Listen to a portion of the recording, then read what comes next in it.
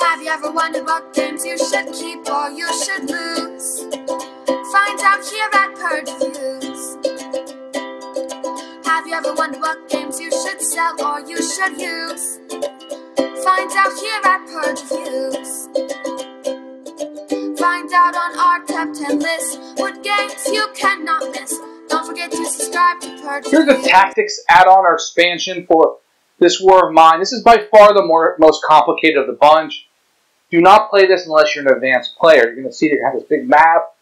You're going to have some soldiers coming out. Let me kind of show you how this works and see if something you want to add on, but please don't try this your first 10, 15 plays. First thing you'll notice is that you have a double-sided tactics board that you can utilize here.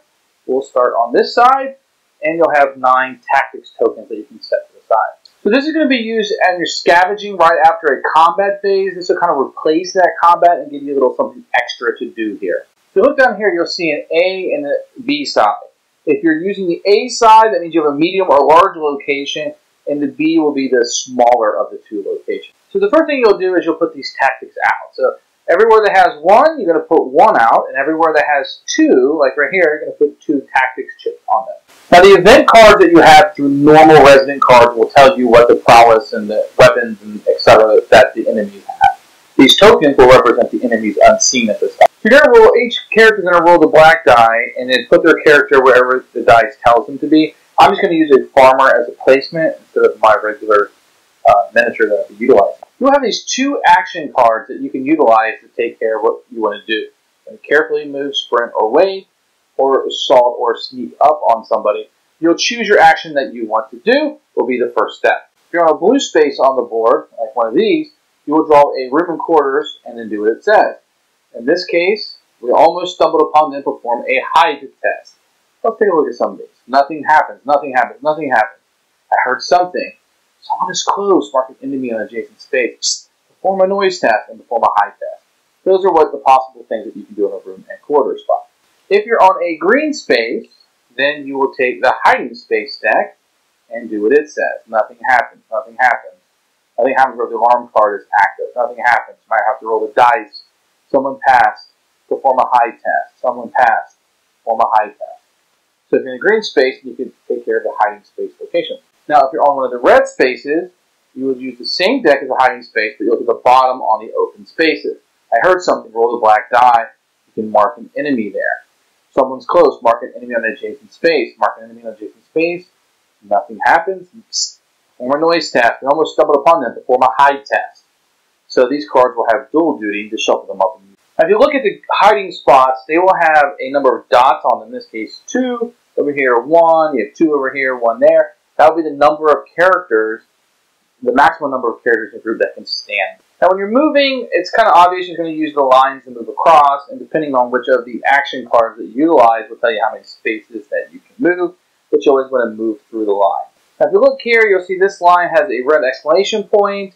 You'll see some with block symbols with different icons. You'll refer to your special cards, and this will tell you clutter, perform a noise. You're cut off. When fleeing from combat, you cannot use this passage. This one is darkness. All characters and enemies prowess is zero. It's a tight spot. Firearms have no supremacy here during combat. All attacks are performed simultaneously. There's a little climb action you can do there. But these are just reference cards that tell you how to get through here. So when you want to hide, you'll do a hide test, which is the modifier that the card told you, plus the blue colored numbers, in this case a 2. Then you would roll your 10-sided die. The results lower or equal to the hide stat, and enemy did not spot you, you marking two spaces away.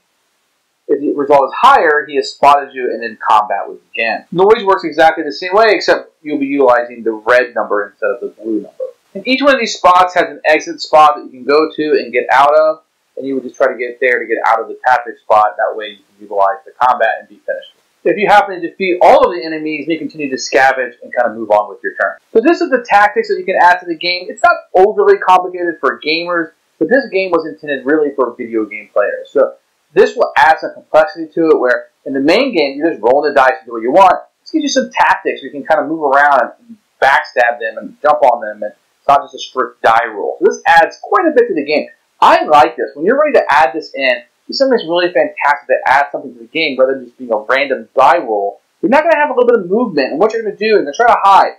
This game is predominantly still going to be with this expansion a lot of die rolls, A lot of this is going to be die rolls, but it's going to be multiple die rolls versus maybe one or two in the basic combat rolls. So I would say try to get this one to the table as quickly as possible. Dimension need, try to add this in. Great addition.